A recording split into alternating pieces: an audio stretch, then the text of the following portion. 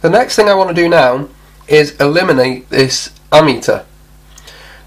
Now you can't be rash with this because remember that these leads here uh, are the longest leads in the circuit at the moment and if I remove these um, the resistance of the wires is going to drop um, and that has implications.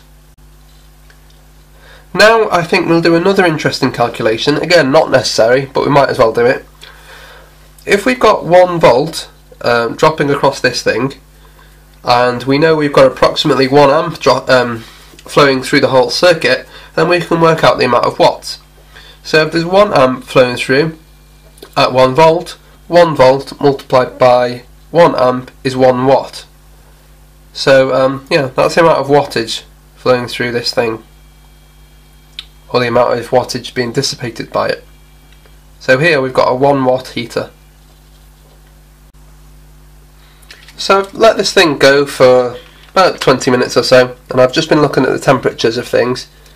Um, so 19 degrees for the Arduino, 19 degrees for the cell, 25 degrees for this thing. This can cope with a lot more heat than that and it will be fine. The resistor, uh, 20 degrees, no problem. But the TIP41C, it's saying 31 degrees now. Um, but earlier, it was not. Earlier it was a bit hotter than that. Um, so what I might do is I might parallel in another one. You can actually just add a heatsink to it. Um, but I haven't got any heat sinks, and this will do the same. So if I parallel another one in, um, they'll effectively share the load, and um, just gives me a bit of peace of mind, I suppose. So um, so let's do that. Actually, 30, 30 degrees isn't too bad, but um, let's do it anyway. So push that in there, and now we've got two transistors doing the work and um, it should be better. So let me just check the temperature of that again. 30 degrees and this one will start warming up now. It's 25 at the minute. Um, anyway, that will share the load and it will be better. And I'll just zoom in so that you can see things a bit better. There's the Arduino, the transistors, the resistor, the other resistor and the cell and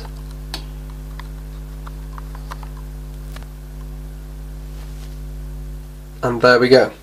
Something I've changed, which doesn't really matter too much, is nothing electronic, it's just to hold it together, is I've added these two crocodile clips on here and they literally just hold the contacts together and grip them tight because otherwise you've got to, you know, twist them on and whatever, and it's just too much messing about. So they hold the um, wires onto a resistor. That's all they do. But what do we need to do now? Well, there's a couple of things we need to do, but let's just go over what we've got up to now. So we go from the anode, we go through the load, then through the load we go to the collector of the two transistors, then from the collector, if the base is on, um, and the base runs through from D2 through a resistor to the base. If it's on, then the collector and the emitter short together and the current flows through here back to the cathode. And um, that's essentially our, um, our load circuit or discharging circuit done, essentially. But um, there's a bit more to it now.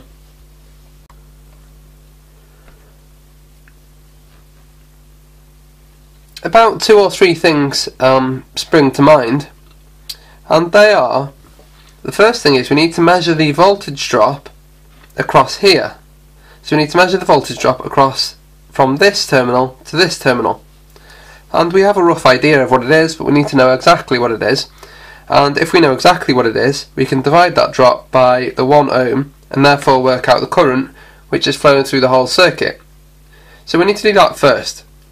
The second thing we need to do is it will be handy, in fact not handy, it would be essential to know um, what the battery voltage is. We need to know what the battery voltage is so that we know when to stop. And you may be able to measure the battery voltage from here um, which is the same as where we're going to measure the voltage drop of the load from. Um, but I'm not exactly sure on the resistance of this wire. So therefore it'd be more accurate if we were to measure it from the anode. So that's two things we need to do. So we need to add some wires here and here, and we need to add a wire here. Um, maybe to ground as well, but then again it's already connected to ground. Um, might do it again though, just to meet, just to be sure. So that's what we need to do. Um, and there's also another change as well. In the code, I've currently got something just saying turn it on, turn it off, turn it on, turn it off. We've got to come up, come up with something more sensible than that too. That was just for testing. So now we're going to come up with something better. Okay, I'm going to zoom in a bit now. You're not going to be able to see those crocodile clips and whatever, but we should be okay. Okay, so now I've got some jumper wires, and um, personally I use them uh, for different purposes. Like I colour code them, and I use red here for plus voltage. I use um, blue for ground connections. I use green for uh, controlling, so like digital write and digital read and stuff like that. And I've got more here. I've got yellow. And I usually use yellow for analog in or signal in. And of course I've got another blue. So the first thing I'm going to do is connect the, um, no, first thing I'll do is connect the plus voltage. So I'll connect the yellow here. Hopefully I can ram it in between these connectors. Yeah, that's pretty solid. So this is to get the battery voltage. And I'll connect that to A0.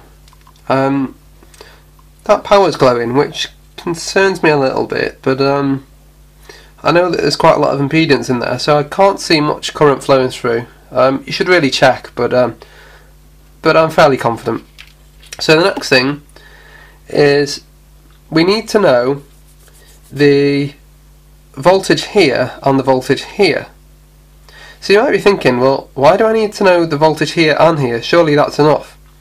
And um, when I first started doing electronics, I used to think this too. I used to think, oh, well, I'll just get the voltage here. But actually, you do need it here. And the reason you need to test it here as well is because there's a further voltage drop from here down to the cathode. Um, I'm not going to go, I'm not going to elaborate on that too much, but just so you know. Right, so first one there, and second one in here, if I can get that in. There we go. So that makes sense. If uh, we're sensing the battery here into A0, the battery voltage, it makes sense for this one to be A1. Oh, that's just pulled out. Hang on a minute. I'll just replace that for a longer one. So A1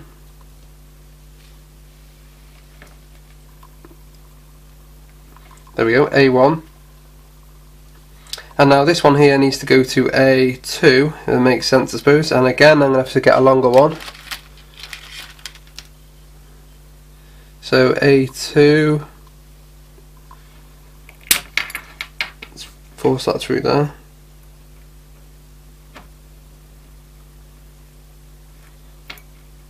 And now this one's come undone, it's proven to be a bit of a nightmare.